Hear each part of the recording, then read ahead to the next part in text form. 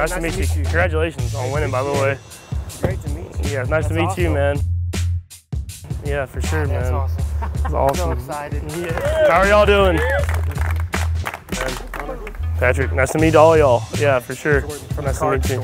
Okay, nice to meet y'all. I think we're going to start off by throwing the football as long as you can stand it. Nah, that sounds good to me. That's what I do best. Yeah.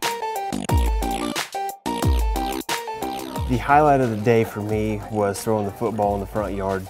I mean, that's something that you don't always get to do, especially with an active NFL player. So that was by far the best.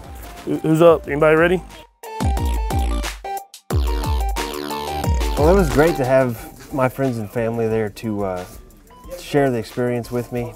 For them to be able to be there and support me and help me through it, and then make me comfortable with Mahomes and just having them there. There it is. Oh, good catch.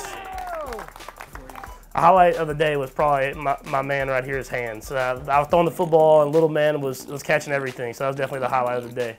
I always think that uh, athletes have like this high personality and they just, you know, they don't really relate to ordinary people like us, but he's completely down to earth, just like you or me or anybody. It was awesome.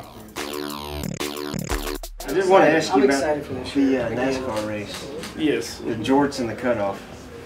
The full story. All right, so Calling him out? An- Anthony, An- so Anthony Sherman, our fullback, he had went. They had went to the race last year, and I didn't get to go. And it was with him and Garrett Dieter, and a lot of guys went. I said, Sherman, "Should I- "Should I wear the jorts?" And he was like, "Yeah, you wear the jorts, you're gonna be good." Like I won't say anything. I was like, "All right, I'll wear them." It blew up over social media. I get asked about it literally every single interview, every single thing I do now. Well, that was definitely a surprise because I know I'd never be able to afford it. Being able to get Patrick in on it and go through the box card by card, it was it was awesome. I really enjoyed it. Really? Yeah, uh, Doug Baldwin.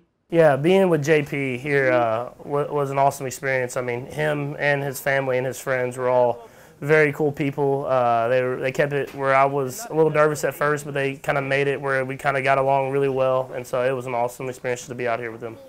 Nice to meet you. Well, collecting cards definitely led me to being able to hang out with Mahomes. Um, I really never thought it was possible. I, I just, you know, I didn't think it could lead anything like this. But so to get the opportunity from Panini to hang out with Mahomes was amazing.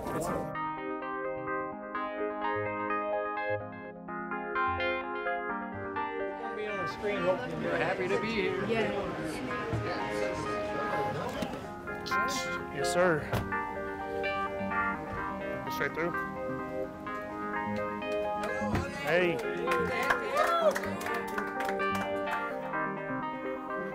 Getting your own trading card is, I mean, when you're growing up, you collect them. You look at those cards of your favorite players, and so to see my name and my picture on those trading cards is something that's it's really surreal and something that I, I will never forget.